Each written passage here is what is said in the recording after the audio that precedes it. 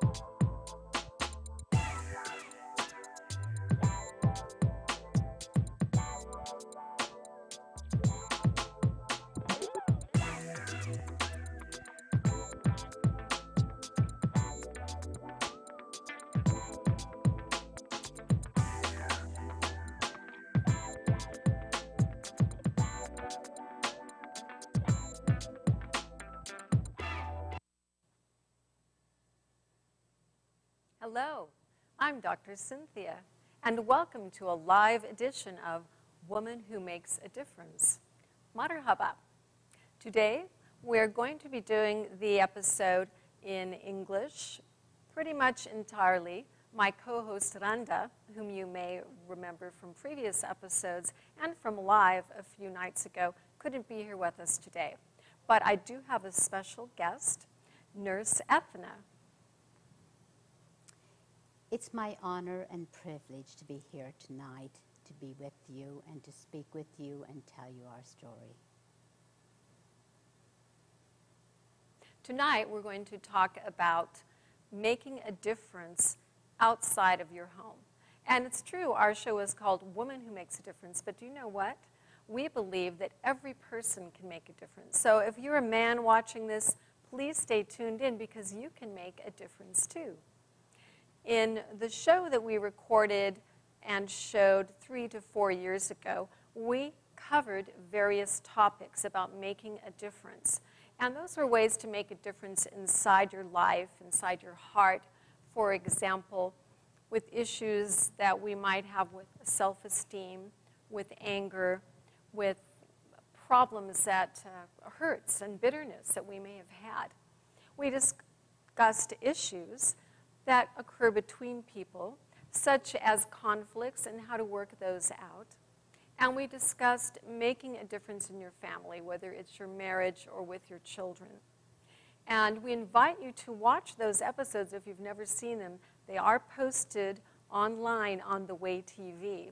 Look up atvsat.com under programs and you can find them. So tonight and in our live episodes, we don't repeat what we spoke about, but we include new material, things that might have come up in the last few years since we taped, new ideas of how we can apply the principles we learned to specific things in our lives. And a few nights ago, we covered some things that had to do with making a difference inside ourselves some new insights Randa and I had on anger and conflicts and family and balance. Tonight, we're going to talk about making a difference in the workplace. And I have invited Nurse Ethna to be with us because She's someone who decided to reach over the wall and make a difference in the world. Now, what we discussed in our previously recorded episode that you can see online is that you might be someone who's on this side of a wall. You know that on the other side is the big world. And you feel there's something in your heart that makes you want to reach over that wall and see what it is, or at least climb up and peek over and see if there's some way that you can enter into that and make a difference. Now, we know that not everybody can do something splendid, perhaps as wonderful as what I think Nurse Ethna has done. But we believe that everyone can make a difference. We believe that God can make a difference in your heart. That difference in your heart can make a difference with the people around you, in your family and your friends, and that somehow, maybe in a little way, but somehow you can make a difference in the world. And please believe that about yourself. You are not a mistake. Your life is not wasted. And we're hoping that tonight, by hearing Nurse Ethna's story, you will be inspired a little bit. And maybe you will go back and watch our recorded episode and see how Randa and I decided to try to make a difference in the world.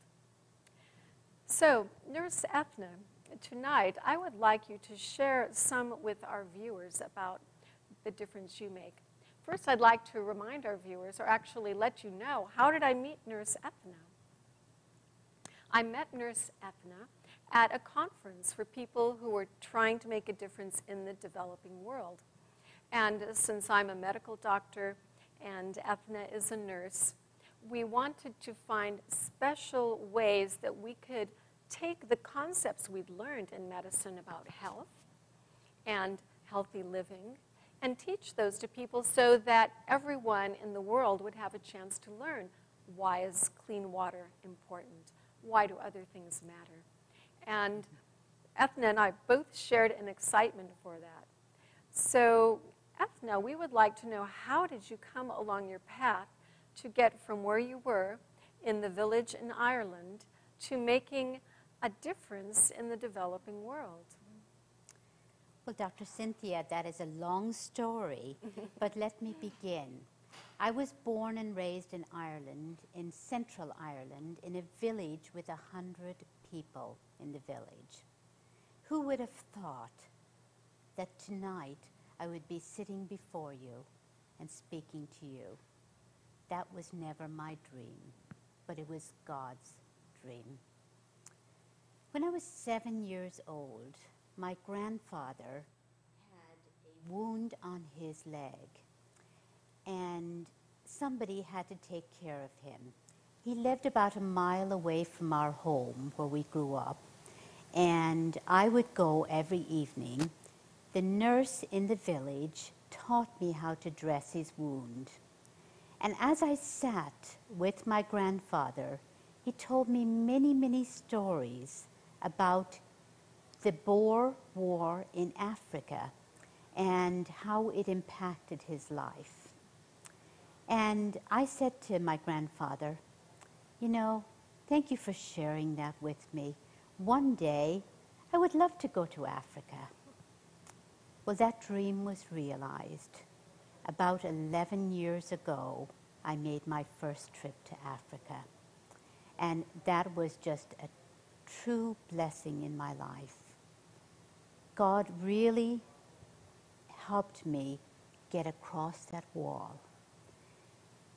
When I went to Africa, I went to Kenya and met with another nurse, Sister Frida, who was to be my mentor for the last 11 years.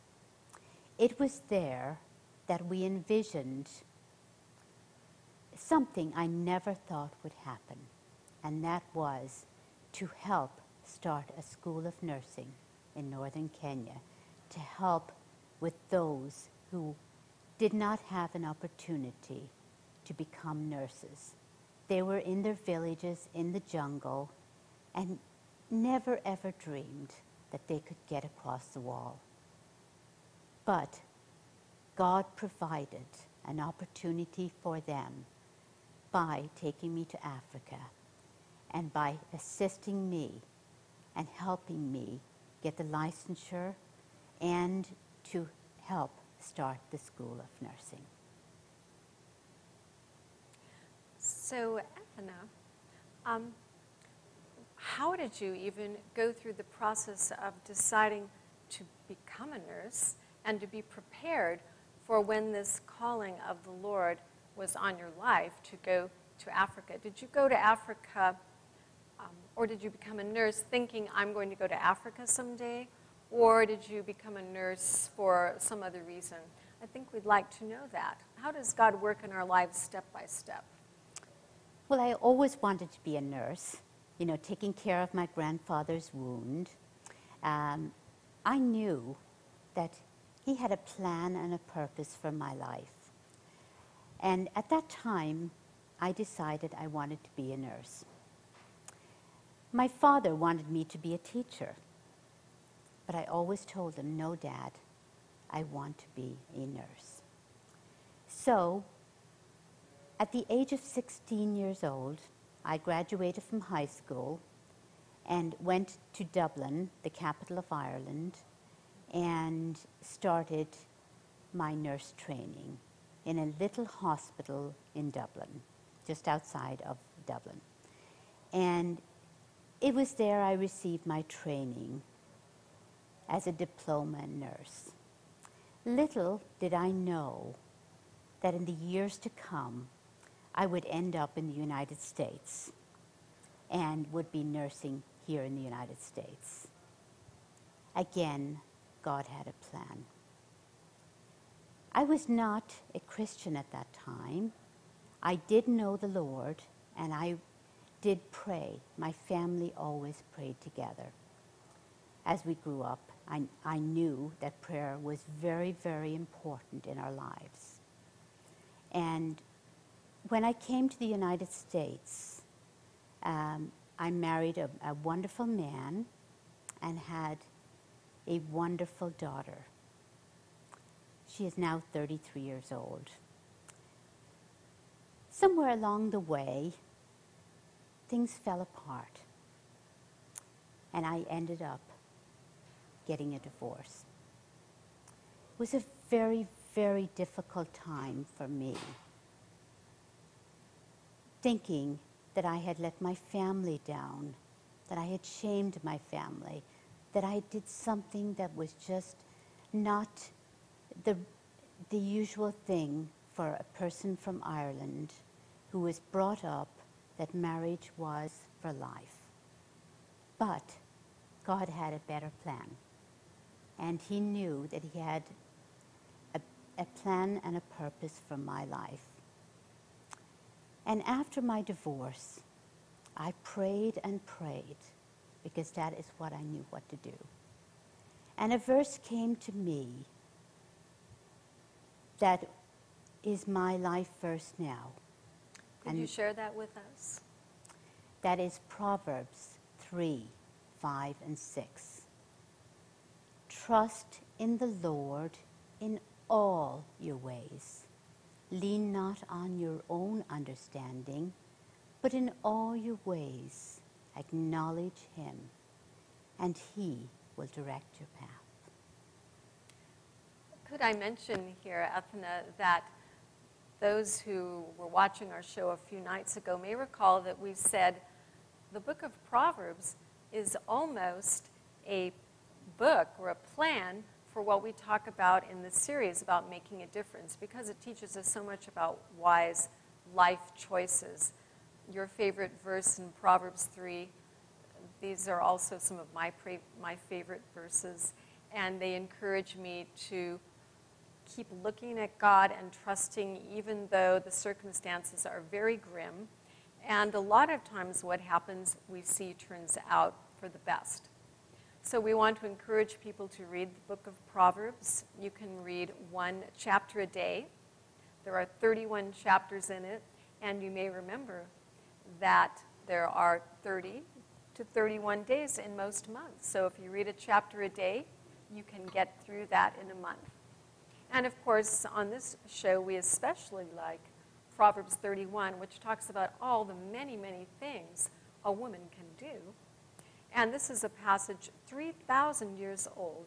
And even 3,000 years ago, a noble woman was considered someone who made a difference in her home and outside of the home. To remember Ethna in Proverbs 31, some of the things that it talks about women doing that were um, considered honorable. I do remember, but I do not know how to quote the verse. How Would you mind quoting it, because for there are please? several. It's a whole Yes. Chapter. And I am just indirectly alluding to the fact that in Proverbs it says that uh, women can work, they can buy land, they can take care of their household, many things. And I think my question was a little vague there. I didn't say specifically what I was referring to. But there's a wide assortment of what women can do. So we want you to feel, if you're a woman, don't think, oh, I'm a woman, I can't do anything, I can't learn, I can't work. No, you can do things. On the other hand, on this show, we talk about being serious about our limitations and trying to work within the expectations of others around us. And uh, if we're married, looking at what, if we're married or if we are in our, our parents' house. So I encourage you to get the basics of what we taught for how a woman can approach her desire to have a career and get those basics off of our episode on the website. So we don't want you to take anything we say today out of context and get into big trouble somehow. But we're just adding to what we shared previously. So, some of the things that we have done together were working in overseas situations, serving together. And our viewers may be interested that we served together in North Africa, working on a, um, a seminar with health professionals and other places. Maybe you can share some of the other countries that you've worked in. Is that, um, if they're not too Yes. confidential? No, they're not, Dr. Cynthia. And I have worked mostly in Central Africa, in the Congo, in Goma. Uh, it's in the um, western part of um, the Congo. I've also served in Burundi, Rwanda, um, Kenya, Uganda, South Africa, Morocco. I've also served in India, Thailand, China, and Tibet, along with serving here in the United States in many different areas. And when I think of that, I'm very pleased, very impressed that you've made a difference in these places. I'm wondering, did you come across obstacles on the way, things that could have stopped you from getting to be a nurse? What, what things might have gotten in your way? Because all of us feel like we, we face obstacles within or without. Sometimes we have trouble studying. Sometimes our family stops us. So what might you have faced in the way of obstacles? Well, the major obstacle, Dr. Cynthia, and our listeners and viewers, is was my father. He did not want me to become a, a nurse. He wanted me to be a teacher. But today, I'm both a nurse and a teacher. So I fulfilled my father's wishes. Um, he was totally against me becoming a nurse. He did not want me to do that. He said it was beneath me to do that. He wanted me to be a teacher to stay home in our home village and teach the people there. But that was not God's plan. Wow. He wanted you inside the wall, just in this village of 100 people. Yes, he did. He didn't want you living in America, going to Afra, going, Africa, going to Asia, going to all of these places to start nursing schools and teach health. No, he did not. He wanted to protect me and keep me, as Dr. Cynthia said, inside that wall. And if I had done that, I feel that I would not be fulfilling my purpose in life today. I would not be um, functioning as a nurse. I probably would be at home and settle down with um, someone at home in Ireland and in a little village, probably on a farm, and more than likely would have had to give up my career as a teacher if I had stayed home to take care of the children.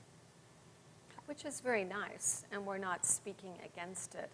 It's just that it's encouraging to us to know that although you were in a small town and no one encouraged you, you still can get out and make a difference in the world mm-hmm. because you had that vision and you had that, that purpose.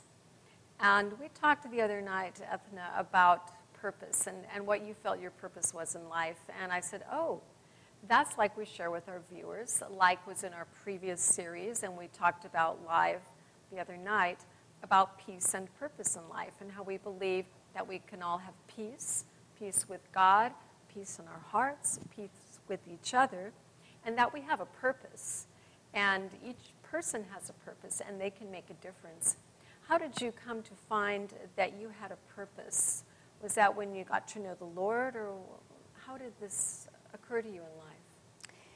It happened when I joined my church on a mission trip. My first mission trip was to Kiev, Ukraine. That changed my entire life.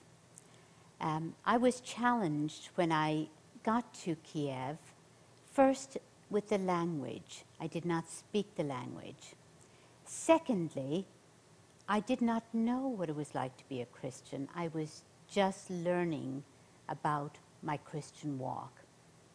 I was baptized there, and my role was to work in a hospital uh, taking care of children that had cancers or were going through chemotherapy because of the problems from Chernobyl. And that really enlightened me. Can you remind our viewers just briefly what happened at Chernobyl? In Chernobyl, the nuclear reactor failed, and there was leakage from the nuclear reactor uh, with radiation that went all over Ukraine. And it caused many, many different leukemias and cancers, especially in mothers uh, that were pregnant or in children. And it was devastating for the entire land. Now, I want to open up our show to calls. If any of you feel like you have a question about how you might reach over the wall in your life, if you have a question for Nurse Ethna or I, feel free to call. And while you're thinking about that, I want to share something that happened in my life in the last few years since we've filmed the series, the first season of Woman Who Makes a Difference, and maybe you can comment on this, Ethna. But I think it might be helpful to some of you because I've had a chance to see the work-life situation from a variety of sides. As you might imagine, going to medical school, being a doctor, always I had to get good grades. And then I became a leader in many ways. I became the director of a large laboratory, actually more than one large laboratory. I made the rules. I was the boss. I knew pretty much everything that was going on, and I was sharp and fast, and I believed those verses in the Bible that say, whatever you do, work at it with all your heart as working for the Lord and not for people. And do this to bring glory to God. Whatever you do, bring glory to God. So in my mind, I was thinking, okay, do your best and excel, and you will bring glory to God. Well, what's happened in my life the last few years, Ethna, and you might be able to relate to this, I think some of our viewers can, is as I started doing other things, started doing more work in developing nations, working in ministry, and uh, working some with some special needs in my own family, I had to work less and less at the hospital. And what I say is, I went from being a leader to being a learner.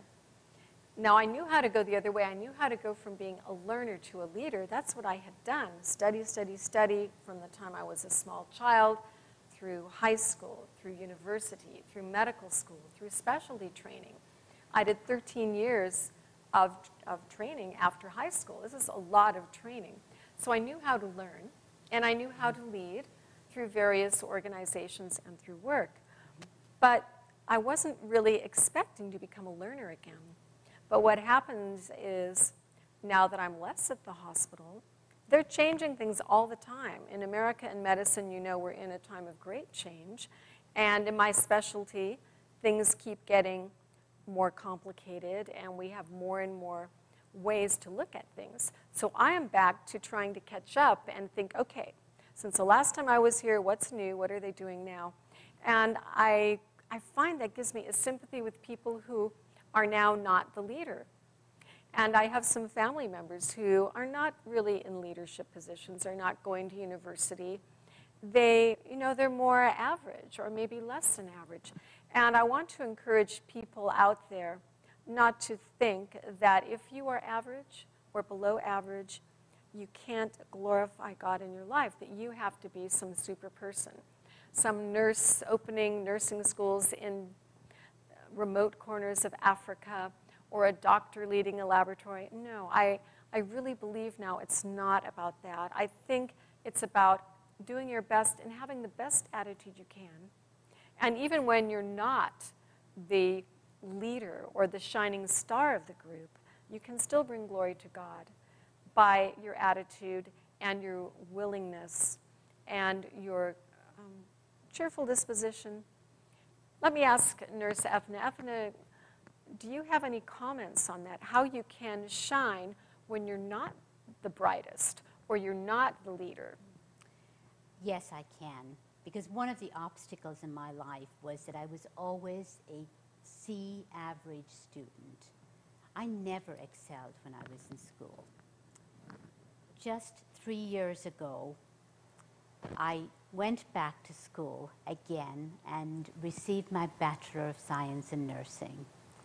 And this was to bring glory to God again with my work in Africa. They had made me Dean of the School of Nursing. A C average student that always had to study so hard is now, when I was taking my bachelor's, an A student. Wow. And I am now an administrative supervisor in a large trauma hospital here in Southern California. For somebody that did not do well in school back home in Ireland, now I'm excelling because God came into my life. That was my purpose in life, and He made it happen. And I would never guess that, Ethna. I've so enjoyed our discussion here today because I've learned things about you I didn't know in spite of all the years that we've worked together. I never would have guessed that you were a C student because you are so good in teaching and I've enjoyed working with you in seminars and things. And, and I hope that encourages our listeners too. One of the things I learned going through the medical school process is it's not so much a matter of being a genius. To be a medical doctor, you don't have to be an Einstein, a genius, the smartest person in the world. You need to have, I think, above average intelligence. Yes, you need to be uh, a, a little bit intelligent. But the most important thing is what you are explaining to us is working on it. It's being faithful, it's working hard, it's being consistent. And I suggest that to any of you that maybe would like to do something, but you think, gee, my grades aren't that good. Well, you have an advantage over someone else if you work harder and you're more faithful. Even if that person is smarter, do you remember the story about the turtle and the rabbit? Yes. And the rabbit could run fast, but he was lazy. So the turtle just kept going and going and going. And the turtle won. And that's what we would like to encourage you in today that by your faithfulness, by looking for what God would have you do and listening to his voice, you can reach over the wall and make a difference in the world and have your life be a life with a purpose. Thank you for joining us here today on Woman Who Makes a Difference.